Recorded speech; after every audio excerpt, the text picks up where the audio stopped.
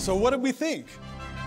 Discover Saint-Saëns' Organ Symphony is an interactive teaching concert with Maestro George Marriner Maull and the Discovery Orchestra.